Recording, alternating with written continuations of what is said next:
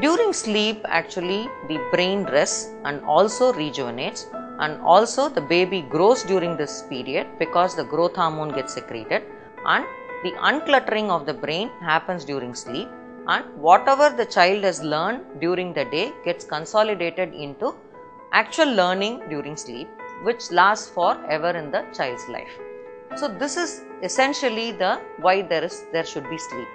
So, if you take uh, aquatic animals, say for example dolphin, do they sleep? Because they don't drown.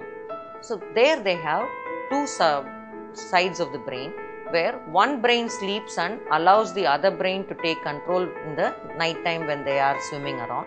But whereas for terrestrial animals like uh, us, including mammals and human beings, we don't have to swim. So, which means we need not have to keep ourselves alert. So, that is the reason we have a specific rhythm that happens. So, there are two reasons why uh, anybody falls asleep. One is the circadian rhythm, and another one is the homeostatic uh, rhythm. When it is night, all of us want to sleep. When it is bright light, completely sunlit and things like that, we are awake and we want to catch up with our activities. This is the circadian rhythm. So, this cycle is normally kept at 25 hours a day, unlike our 24 hour a day time cycle that we are used to as what we call as day. The homeostatic drive to sleep is we are awake for say a continuous 30 hours or 24 hours, then there will be an irresistible necessity to sleep which will make us sleep even if we are alert, even if we want to be alert, we can fall asleep. Now, the homeostatic drive is what makes a newborn baby sleep for almost 16 to 18 hours or even up to 20 hours a day in the newborn period.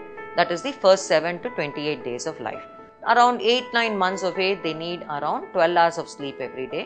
And by 1 year of age they may sleep from 11 to 12 hours a day which can be triphasic. So some babies they would sleep in the morning. They will have a morning nap of 1 hour and they will have an afternoon nap of 1 hour.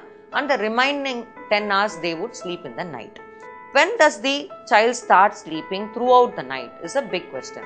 So till 4 months of age the child does not know day and night differences unless we instill in the children very early.